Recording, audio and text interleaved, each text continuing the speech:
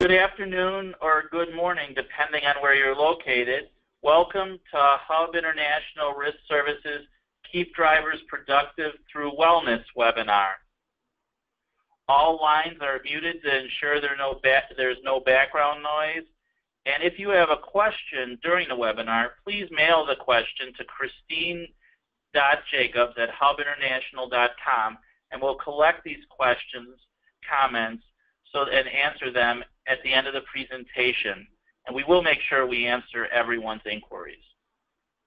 Our agenda for today includes a little about Hub and our speakers, the scope of the wellness and the driver wellness problem, how to build a wellness program, additional best practices for driver wellness, a discussion about absence management, and questions from our listeners.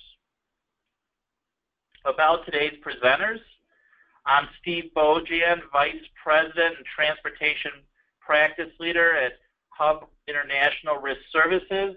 I've been with Hub for five and a half years and in working in the transportation industry for almost 25 years in, on both the insurance safety and uh, the trucking operations and risk management sides. Renee Mataliano is a Senior Vice President of Workforce Productivity with Hub Risk Services. She's been with Hub for nine years, has more than 30 years in wellness and absence management, and has a master's in vocational rehabilitation from Michigan State University. A little about Hub. Hub International is based in Chicago, Illinois. It's the eighth largest global insurance broker. It's the leading transportation insurance broker in the United States. we have more than 300 locations across North America and more than 9,000 clients to serve our 9,000 employees to serve our clients. Well, let's start by talking about where things stand today with drivers and wellness.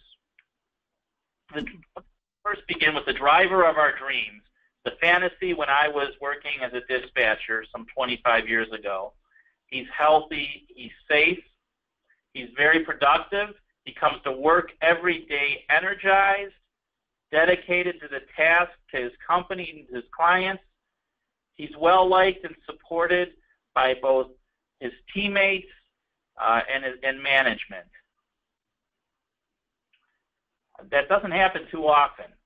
Driver wellness, we want to talk about a description of uh, a, a definition of wellness. Wellness is an interactive process of becoming aware and practicing healthy choices to create a more successful and balanced lifestyle so that we can create those, dri- so those drivers of, of our dreams can come back into existence. The scope of the issue, it's kind of scary to be perfectly frank. The average age of an over-the-road truck driver in the United States today is about 51 his life expectancy is 61. We're very quickly coming to a precipice in terms of the driver shortage and going over that cliff if we don't if we don't improve something.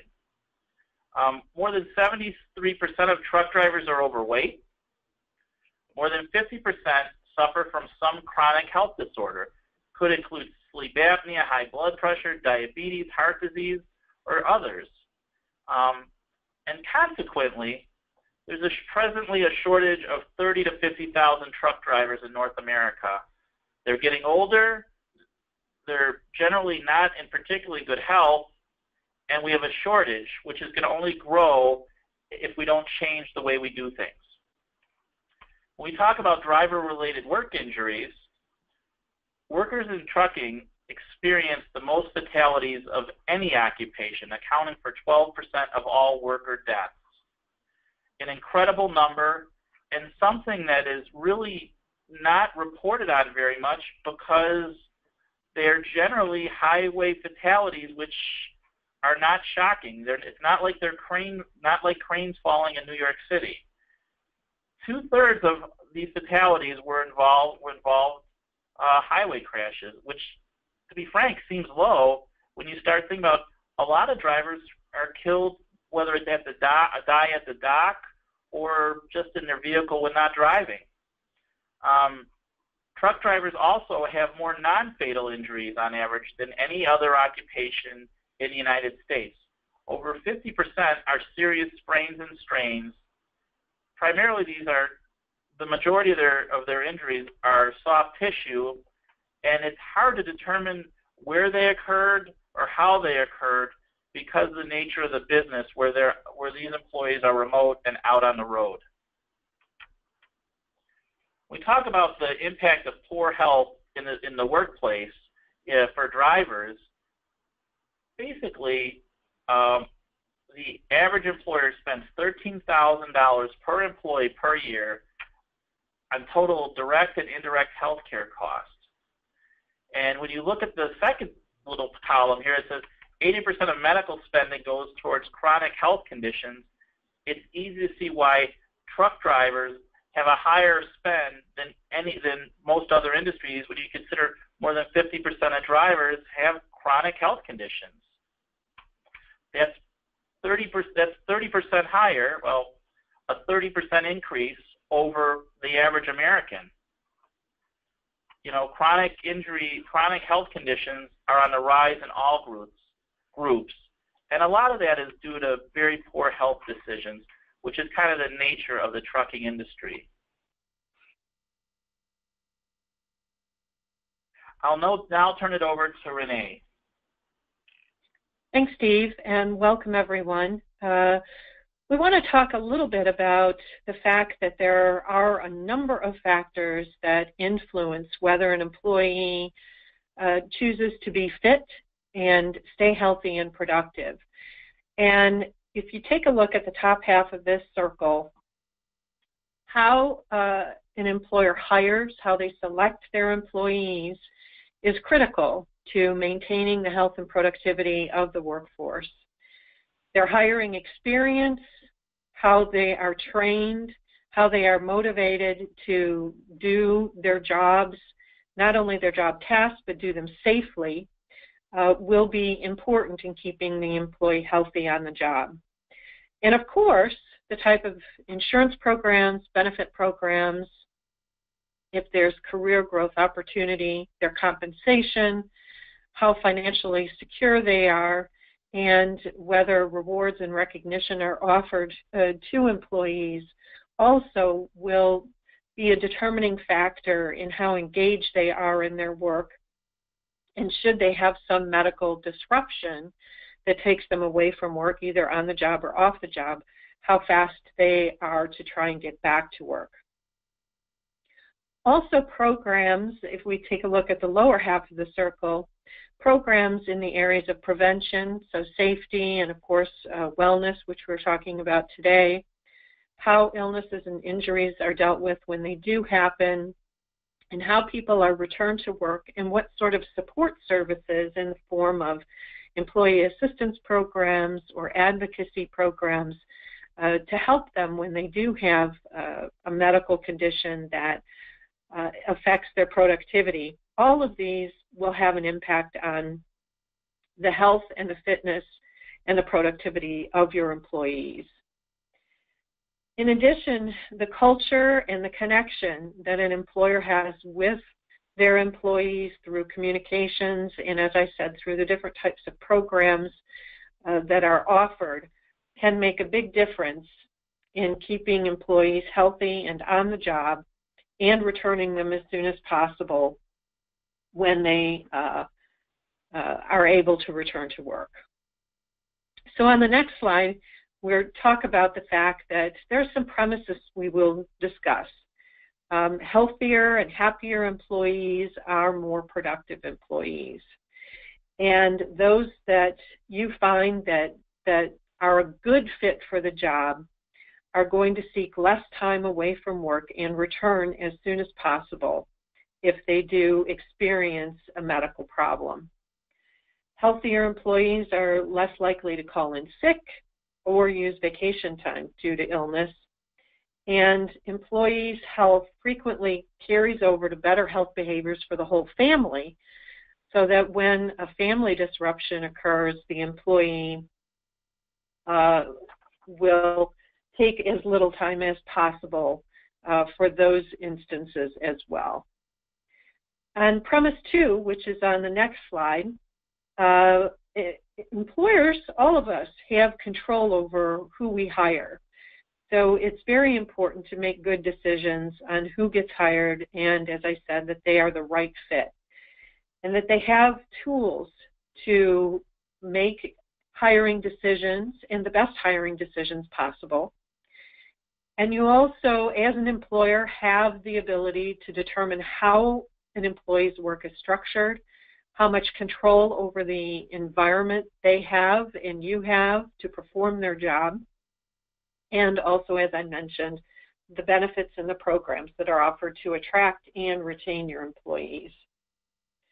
So we know that getting the right programs in place and setting up an effective wellness program, especially in the transportation industry, is going to be a team effort uh, across many departments or many individuals within your organizations human resources, safety, operations, um, recruiters uh, to make sure that you're getting the right uh, folks in the job and that they are well supported and trained uh, on the job. When we think about the fit employee, we, we like to discuss it in terms of the employee life cycle.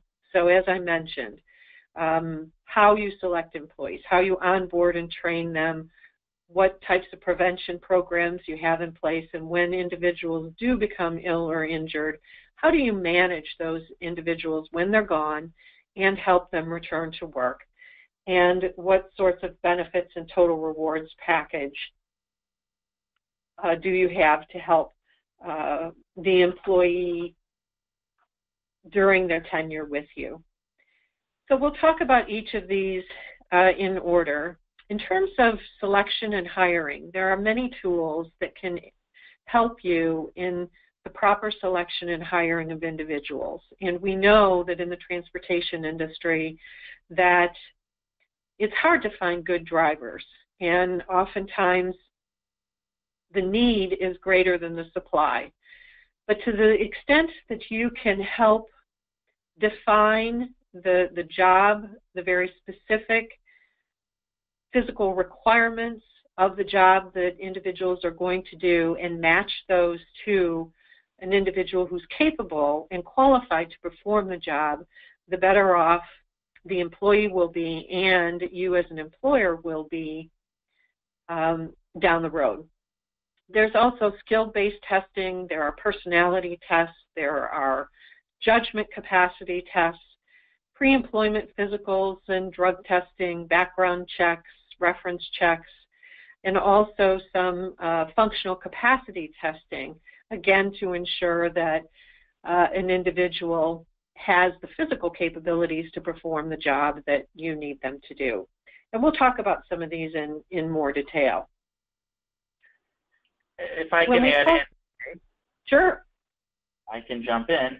Uh, while many of the things we're talking about on this slide are required by the FMCSA or DOT, they can be great tools to selecting good drivers. Um, one of the biggest challenges in any commercial fleet, whether it's transportation, distribution, or construction and others, is like as Renee said, that shortage of driver. And we often get in the very bad habit of instead of selecting, you know, we, we're not qualifying, we're disqualifying drivers. People are hired until there's a problem we need to the the focus we're talking about here is picking good people, picking the right people who can do the work, and and will do a good job. And really using these tools goes a long way uh, to reducing turnover, which improves performance and overall fleet safety. Thanks, Steve. Uh, so when we talk about job analysis or job descriptions, basically what we're talking about is making sure that all of the essential functions are appropriately documented uh, for the for the driver's job. So detail the physical requirements, all of the job duties, um, the skills and competencies that you require and any education and experience or any certifications that you require as well. The more an individual knows about the job and what they're getting into, the less likely they are to become disengaged or even uh, injured uh, because they're well prepared for what the job requirements are going to be. When we talk about on the next slide the types of testing that several organizations use, some use personality tests, and that can help you determine how a worker is going to fit within your overall culture and with their coworkers. However, um, we feel that there are other tools that measure judgment that are much better in terms of predicting how an employee is going to perform in their job. And when we talk about judgment, we're talking about how an individual values work, um, how they make decisions when they're under stress, what kind of decision making skills they have, how they follow instructions, which are all critically important in the transportation industry uh, because the safety not only of the driver but of everyone around that driver um, are critically important and impacted by the judgments and decisions that a driver makes. So we prefer uh, those types of pre-employment uh, testing to give you more information on an individual's judgment capacity as it relates to uh, a driving uh, position. And with that, I'll turn it over to Steve to talk a little bit more about pre-employment and DOT physicals. Thank you, thank you, Renee. When we, you know, pre-employment DOT physicals are required for all commercial drive for all commercial CDL drivers, all interstate commercial drivers in 10 to 26,000 pounds, and in most states where uh, commercial drivers are driving 10 to 26,000 pounds. So it's a big group of drivers that must take these tests. It really is, and we can't stress enough how important how important it is to select a medical provider for DOT physicals as opposed to letting your your drivers go to uh, a physician um, of their choice. Even with the new with the relatively new FMCSA registry for approved medical providers, there's a huge variation in the quality of these physicals and the care that the that these medical providers they can be doctors, they can be nurse practitioners, they can be chiropractors, uh, even under the present system, uh, of, of the quality of their review of the individual. The medical provider should understand the requirements of the driving position. Is that driver going to be uh, doing deliveries? Is he just bumping docks? Is he just dropping loads? Um, does he need to get in and out of the cab of his vehicle 10 or 20 times a day? So they, when they're making an assessment of the driver, they can have a, a, picture in their mind of whether this individual is capable of doing the work. You know, and, and that really leads to the next point, which is upgraded physicals that include functional capacity exams are a best practice these FCEs uh, test provi uh, provide physical testing of the driver recruit about whether he can perform the physical parts of the job aside from driving the truck, which are you know is is really the primary concern of a DOT physical. These would include lowering dolly legs, being able to unload a truck or, or trailer, um, getting, you know, uh, hand, you know, tarping loads, other things that have a higher level of requirement of physicality than just moving a truck backward and forward. So it, the, the functional capacity exam is a great tool, and really, it's we want to make sure that our that the people we hire aren't going to hurt themselves. It's not that we don't want to hire folks; is that we want to make sure they're a good fit for the job and they're not a hazard to themselves. Um, also, physicals of both the DOT and if you do an upgraded physical, Um, develop a medical baseline for employee health. We know where they stand when they started and when they have these regularly regularly scheduled, regularly required exams. So we can see if, if they're going forward or backward and, and, and for injury management, this can be a great tool. Um, and, and, again, with the FCE, we want to confirm, and, and the physical, that the that the candidate has the capacity to perform the essential functions of the job. A number of years ago, I worked as a risk manager for a trucking company, and recruiters are paid to recruit all types of folks to be drivers, not necessarily um, people who are capable of uh, doing heavy physical labor. But you know, you you'll see folks come through, you know, the recruiting office, and, and at times it can be amazing whether they can get in and out of the vehicle. And it's really important that we make sure that they're capable of doing the job because uh, back in my again in my days in risk management for trucking, the worst thing that you that you he, the worst phone call you can get is that somebody passed away on the road or that uh, one of your drivers is severely injured. And that does happen, and oftentimes it's not directly related to driving or to the handling of freight. So we want to make sure these people can do the work. The other area I'm going to talk about briefly is substance abuse testing uh, and, and, awareness.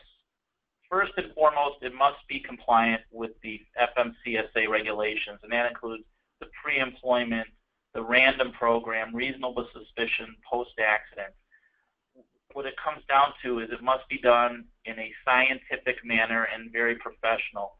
We at Hub, we suggest the outsourcing of the management of these programs but with every company that has CDL drivers that are required to participate, that their HR or safety departments oversee their out, outside vendors to make sure that the programs are being handled appropriately and correctly.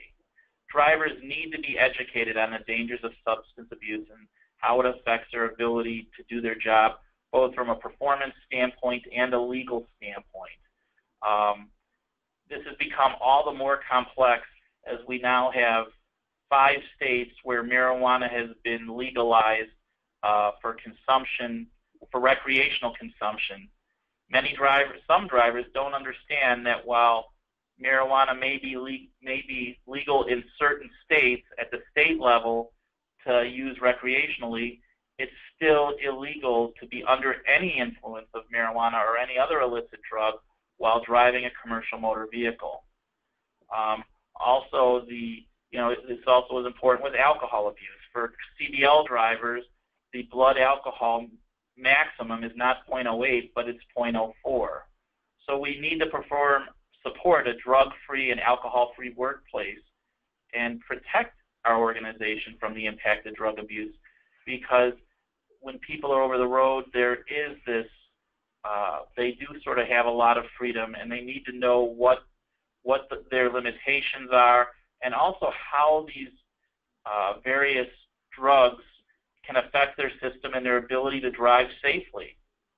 Um, the new OSHA regulations prevent blanket post-work related injury drug testing, so any substance abuse testing program, while it will it needs to be compliant with FMCSA regulations, you also need to take into account the new OSHA policies.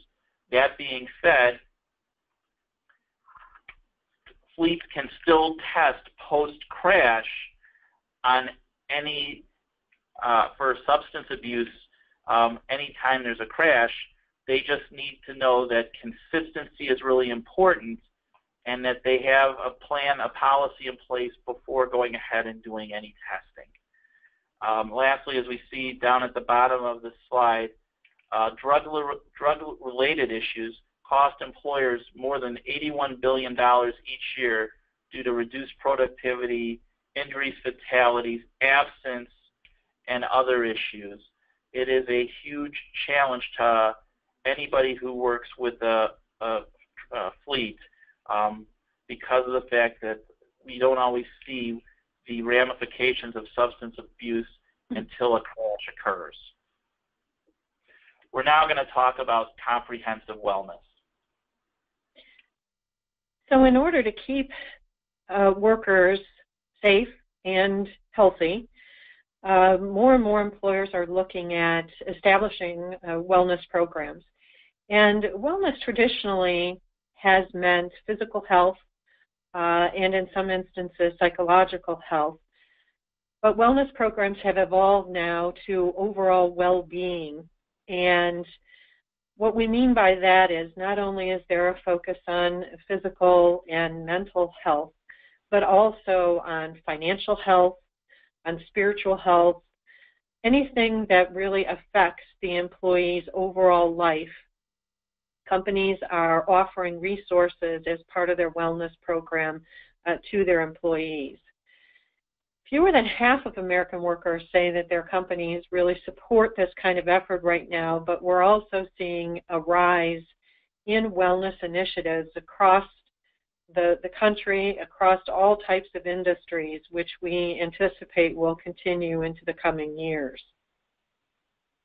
When building a wellness or well-being model, as you'll see on the next slide, it really requires that uh, leadership have a, a, strong commitment and that there is a strategic plan and the proper support for the kinds of things that uh, you as an employer want to provide support for uh, to your employees. And the types of resources, which is on slide 25, that uh, are usually included in a well-being program. Again, uh, preventative screenings.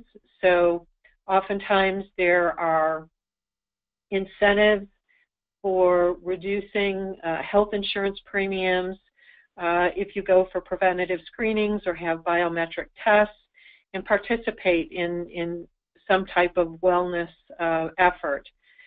Uh, nutrition and diet, um, online tools for researching how to eat better, and also physical activity, so uh, things like Fitbits, you know, for tracking your physical activity, uh, different types of um, su- supporting different types of um, challenges within the organization, so runs and walks, and also some companies actually uh, do gym reimbursements as well.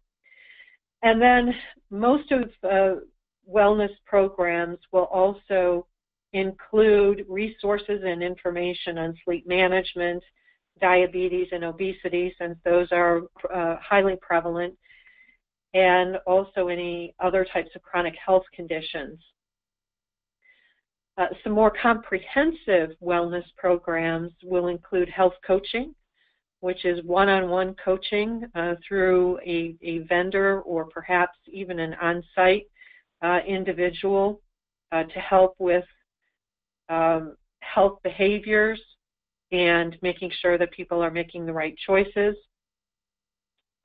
Uh, on-site clinics, um, and this pertains to employers that have a large presence in one place.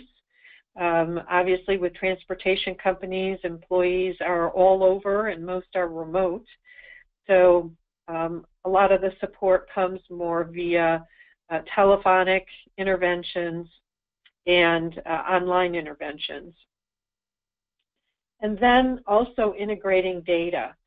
So once some of this data is collected through health risk assessments, um, as well as participation in wellness programs, employers can make better determinations how they would like to spend their money and support their employees.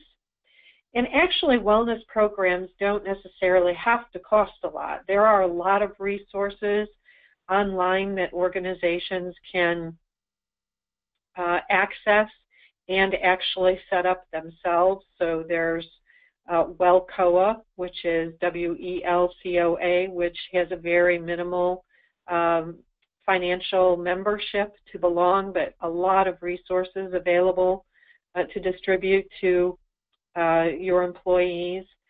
Uh, there are certainly vendors that help set up um, uh, programs, wellness and well-being programs, and, and certainly consultants like uh, Hub actually have several wellness consultants that also assist with helping companies set up their wellness programs.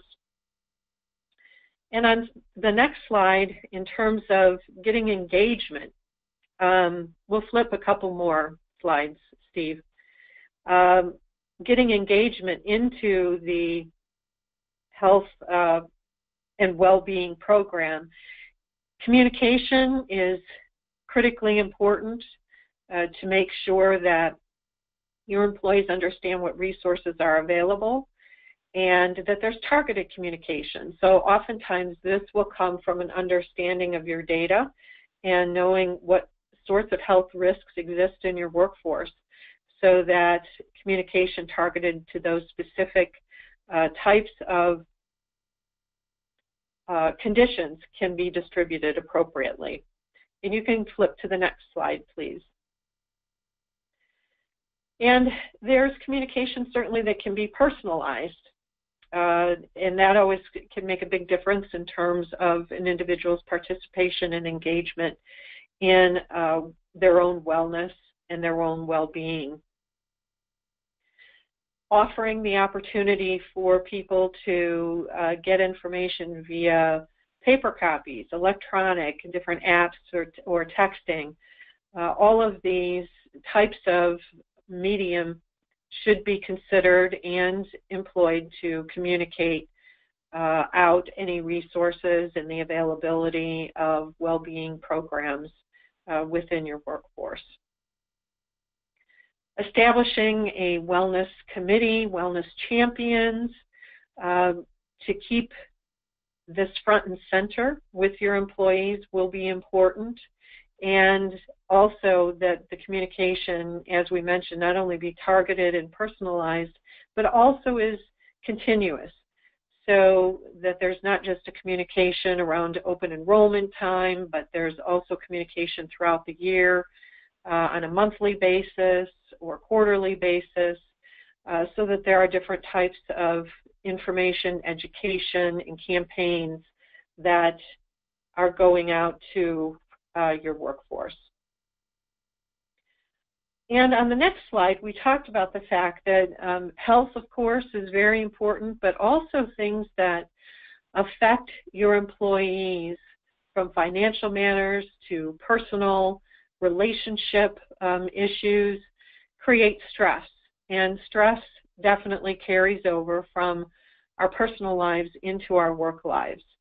And being able to assist your employees with handling those stressors, whether it be through your wellness program, through an employee assistance program, um, addressing work-life balance and how to manage difficult family situations, financial situations will go a long way in supporting the health and productivity of your employees. So sometimes that might mean offering resources on stress management and coping skills, on financial planning. Um, I, a, a very uh, big area right now is on ID protection and identity theft. More and more companies are offering this as a benefit to their to their employees um, because I'm sure probably everyone on the phone has had an experience with having a credit card stolen or their identity stolen, and it's not an easy thing to, to fix. So there's a lot of really interesting resources that companies are providing to help with these uh, more difficult situations.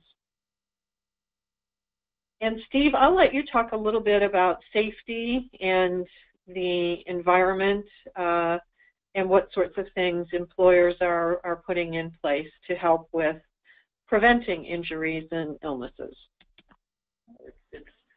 We've, we've moved into a new place with, with, with safety for, for safety and, and, and injury prevention for drivers. Uh, first and foremost is the need to communicate how important safety is. You know, that it's not just about getting the job done, it's about getting the job done safely and getting things to where they need to be because it doesn't do any good if you get hurt in the process.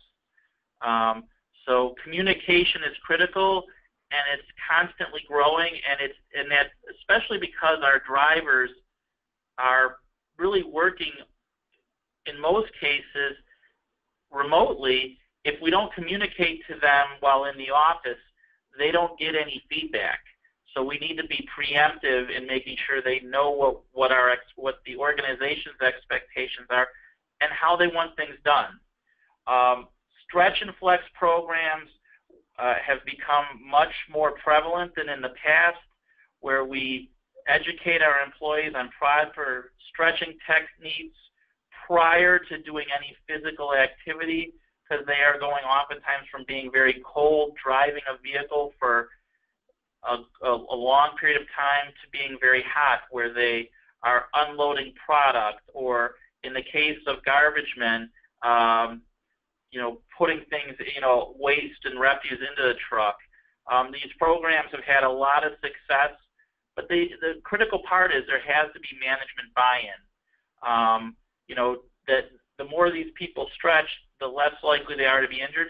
And this has become even more important with an aging workforce so that we don't bounce back from this hot and cold, this hot to cold to hot situation, or excuse me, cold to cold to hot to cold situation as well as we did when we were younger. So uh, ergonomic assessments at Hub, we do these all the time, and they're becoming much more prevalent for fleets, making sure that the uh, the vehicles are set up in a way that's conducive to, to, to driver comfort and safety, and, and looking for technologies that are going to allow uh, the drivers to have less work-related hazards or, or, or injury or likely injury causes while out on the road.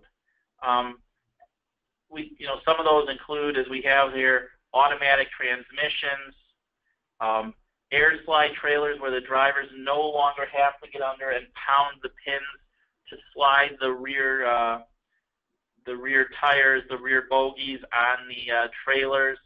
Um, in cab fifth wheel feel, excuse me, in cab fifth wheel releases so that drivers uh, don't have to get out and pull, get you know get their arm under the trailer to uh, release the fifth wheel, which in the past has led to a lot of shoulder injuries. Um, those are some of the technological improvements. And then the other thing is really uh, when we talk about ergonomics, when we look and see that there are some hazards, it's creating training programs. Again, at Hub, we do this with our clients all the time on safe work practices. Reminding drivers that they need to use three points of contact whenever they get in and out of their vehicle to avoid slips and falls getting in and out of their vehicle. It is one of the most important things to remind drivers.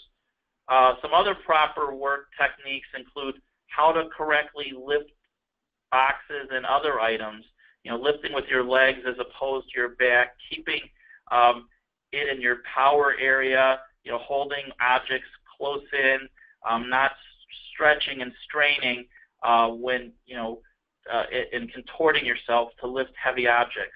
How to correctly dolly up and dolly down trailer legs so that you don't you don't get hit in the face with the uh, with the landing gear handle or hurt you know hurt your shoulder in the process of doing it.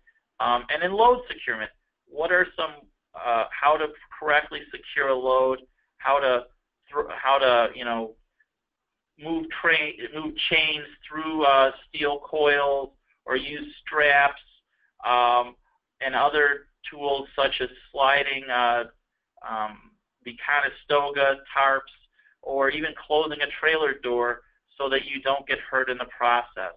These techniques are critical to avoiding injury and keeping our drivers safe. Now I'll turn it back to Renee and talk about meeting the needs of drivers. Oh, I think I have this section. I apologize. Um, you know, first here, we're going to talk for a minute about utilization of health insurance. One of the big challenges we have in wellness is that drivers often view their DOT physical as the only physical they need. You know, they view that as a health assessment, and that if, if they can pass that for two years, that everything is good. Uh, many of the insurance programs that are offered to drivers that are paid for by their employers offer online or in-person health assessments. Um, they're confidential, they're easy to take, and they do a great job of, of providing information to drivers as to what they need to do to have a healthier lifestyle. Annual physicals, especially as, as drivers and other employees get older in age, are critical, and they're often free to the employee. They're paying for something that they're not using because they're either afraid, they don't have time, or they just don't like dealing with doctors. Uh, it's, it's a great opportunity for them to see what they can do to improve, whether it's smoking cessation or uh, better eating habits, working with a dietitian, working with closely with their personal physician is, is a great way to improve the health of our employees. Um, also, getting them to use the screening programs that are often free or at a low cost, such as screening for cancer, which is more likely in truck drivers than the general population, and also heart disease.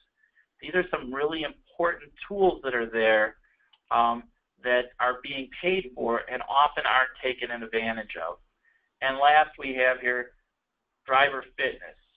A lot of health insurance programs have a fitness component that allows uh, employees to enroll at, at health clubs or other places at a lower cost.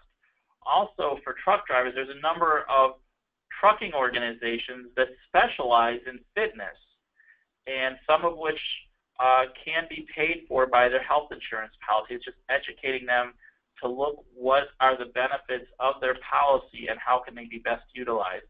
There's uh, Rolling Strong is a really good one, and there's others. There's the story of the of the truck driver who set up a program with his doctor to walk a mile every day. He figured out how many times he had to walk around his his tractor trailer to equal a mile, and he built up his walking over time, and he lost over 50 pounds. It was a great story, and it shows how drivers can lead healthier lifestyles out on the road.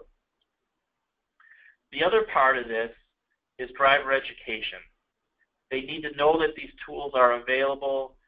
Uh, when we have safety meetings, driver wellness, injury prevention needs to be part of that meeting, be part of that discussion, not just to focus on defensive driving and, and distracted driving, which are equally critical, but how to make wellness part of their overall um, you know, their overall safety strategy because one of the leading causes of crashes is fatigue, and a leading uh, cause of fatigue is, un- is an unhealthy driver.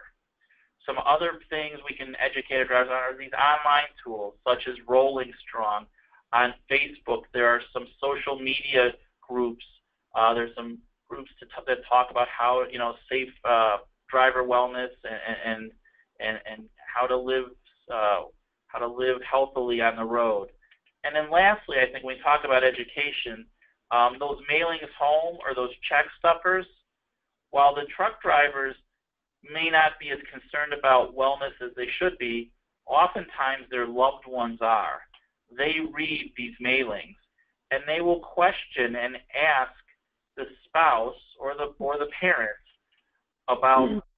about these issues and how that these employee, how these folks, how their loved ones can be healthier and increase and increase their lifespan. So it's really a good idea to, to have a comprehensive driver education program in place on wellness. Now we'll turn it back over to Renee and talk about absence management. So we know that individuals and uh, employees are, are going to become ill or injured. I mean, it just will happen. As much as we would like to prevent that, and we've talked about a number of ways to, to do that, we do know that it, with some employees, uh, illness or injury will occur. And so understanding the, the data behind injuries and illnesses that do occur is very important not only from a financial perspective uh, to the company, but also in terms of understanding, again, the, the health risks that exist and how you can best support your employees to keep them healthy. And when they do become ill or injured, how you can help them get back to work as soon as possible. So we know that organizations spend um, quite a bit of money on absence in the workplace. Uh, the direct costs of absence are uh, the cost of benefits that you may provide to your employees, as well as uh, workers' compensation and any benefits that may be paid out if you're self-insured, and certainly premiums or other fees if, if you're fully insured. But the real impact to the organization is the productivity costs, and those are what we would call indirect in nature, although many of them are direct costs to the company. And that is when someone has gone from work, either you're losing productivity, someone has to fill in and perhaps incur overtime, or maybe there's temporary employees that need to be brought in to cover the work. So what we find is that the indirect or the productivity costs are generally uh, three times what the uh, direct costs are. So as we go to the next slide, um, the important thing is to really understand what co the cost drivers are, um, what the impact to your bottom line is, and what procedures, programs, policies may be changed or enhanced in order to help reduce and mitigate those, those costs of, of absence and lost productivity. And as we've talked about throughout this presentation, making sure that you've got the right people, the right processes, and that you have uh, an integrated look at what's going on with individuals who may be out of work for either a disability related issue, FMLA, workers' comp, um, any reason they might be gone and why they're gone, to really understand that so that you can develop a wellness initiative uh, that, that targets those particular issues and also then really helps focus keeping healthy people healthy and helping those that are unhealthy correct those unhealthy behaviors and hopefully prevent being ill or injured. And the reason it's really important to look at this from an integrated perspective is um, what we talk about on, on the next slide, and that is that um, you want to be data driven. You want to understand what's going on across all of your programs, across your workforce, uh, so that you can best choose the programs, the policies, the plan design, the benefit products that are going to help uh, mitigate any um, financial impact or resource impact people being gone from work. The first step, uh, which we'll start talking about on the next slide, to evaluating all of this is really looking at these programs in detail and understanding the data. And as we talked about earlier in the presentation with uh, well-being or wellness initiatives, if you also have health risk assessments, uh, those can certainly be part of this process. Uh, so looking at what health risks exist as well as the causes of people going out of work for either a work-related or non-work related injury or illness. Understanding the patterns, the trends, the costs, and all of the HR policies and procedures that surround these programs so that uh, there so that any gaps can be identified and then a plan can be put in place to close those gaps and improve how the programs function uh, most and keep them efficient and keep your workforce um, engaged even when they are gone from work. And this is really an iterative process. So taking the first step of doing an analysis and putting uh, some enhancements in place.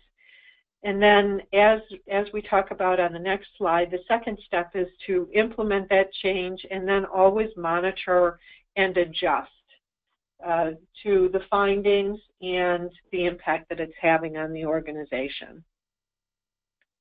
And lastly, as we, as Steve and I close um, our portion of the presentation, um, on the last slide, the the idea here is that there are many influencers, as we talked about early on.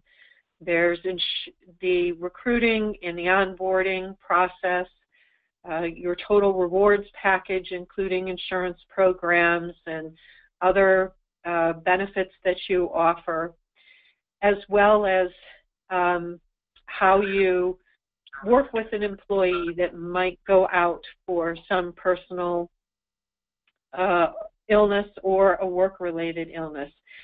But obviously what, what we're focusing on today is how to prevent those things from happening, the tools and the programs that are available, especially in the transportation industry, to help drivers stay more healthy and ultimately more productive and uh, should they become ill or injured, uh, be able to return to work as soon as possible.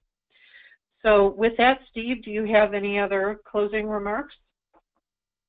Thanks, Renee. Absolutely. It's, one of the biggest challenges in transportation is keeping people at work every day. Unlike uh, other factory environments and other industries, if drivers are not in their seats in the morning, product isn't being delivered, or uh, somebody else is having to work a longer day. Um, there is no getting around it. Um, so make, having people healthier and at work more days is, is definitely a boom. And additionally, I think the other thing that makes this whole discussion about driver wellness and absence management so critical is the movement in the transportation industry, the or the increased focus on last mile delivery services, where drivers are having to become more involved in the physical nature of the work. Um, so really, you know, utilizing all of these tools is becoming that that much more critical because of the fact drivers have to use good judgment. They have to know what they're doing and they have to be able to do things that they were that there was that they were never called upon to do before. Uh, these are folks who have uh, a lot of pressure and are out generally all day and, and, and, and have you know and are looking at, at their employers to provide some support. So thank you very much. Um, also, the Hub Inter- Hub Risk Services has an absence management and productivity group that works with clients uh, to improve their wellness and productivity of their drivers. Um, now let's move on and see if there are any questions. Please feel free to send them in at this time. We do have one question that came in, and that's how many Hub clients have put wellness programs in place? That's a really good question. Um, I do know of one that has a comprehensive wellness program for drivers. Um, it's a distribution organization, and they are one of the safest fleets we work with, and, and they really have human resources, safety, uh, employee benefits, all very much integrated in operations um, to improve driver wellness. Aside from that one organization, we do have other clients that have components of a wellness program, um, such as educating drivers on uh, you know how to better use their health insurance, uh, functional capacity exams, um, and, and some you know some health improvement programs. They use the Rolling Strong program, and they send home a lot of literature, provide a lot of education on driver wellness to their drivers. That being said, when they have these components where our where Hub Risk Services does a very good job of getting involved is putting it all into a more comprehensive system so that it greatly increases effectiveness and um, and that we're better able to measure um, what's occurring and how to make changes to improve the process, really creating a much more systematic approach to wellness. Did you have any thoughts, Renee? Yeah, I think that, that that's the key when a wellness initiative is put in place, that there are many facets, and uh, you just want to make sure that it's well coordinated, well supported, and that there's training and educational materials uh, for each component of, of the wellness um, initiative. So um, that's something obviously that will be uh, important for a successful program. Well, thank you very much, Renee. I greatly appreciate your participation this morning, and thank you to everyone that dialed in. Um, please feel free to contact Renee or myself um, if you would like. The, the, presentation will be available online at hubinternational.com, um, and we look forward to your additional questions in the future. Thank you very much, and have a safe day.